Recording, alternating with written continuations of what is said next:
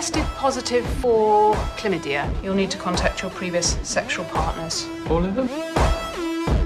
Hi, yeah, it's uh, it's Dylan. How have you been? I've had chlamydia. Terrific.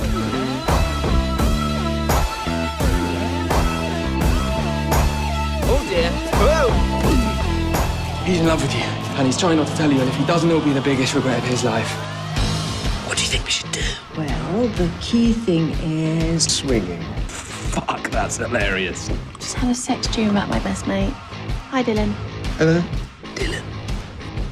Dylan. What's happening? Fire. I went to have a shower and there are tiny black hairs everywhere. Those would be my pubes. Ah, this is brilliant. I'm making waffles. That ain't your waffle face. I really don't have my shit together. Uh, you don't, dude.